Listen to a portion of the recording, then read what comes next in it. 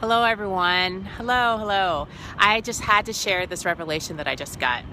I was talking to a colleague about transferring my pages, my notes from a Padfolio to a larger one, and I asked her how long does she typically keep her notes in her Padfolio.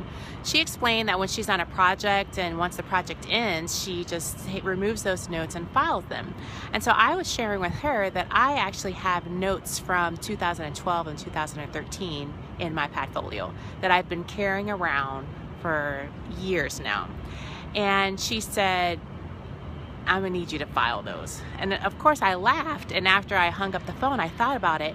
Wow, I've been carrying around pages for years that I haven't touched since the day that I actually wrote them.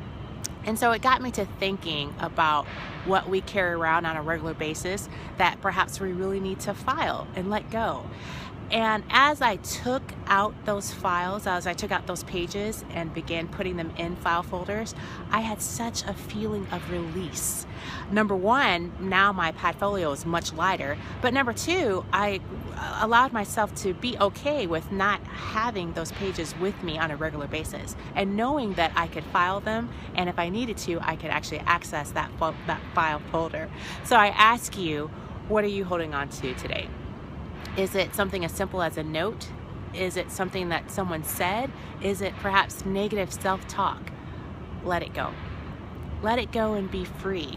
And I just encourage you to celebrate this new space in your life and no longer the fact that you're carrying around stuff that you just really don't need. So happy Friday and make it a great day.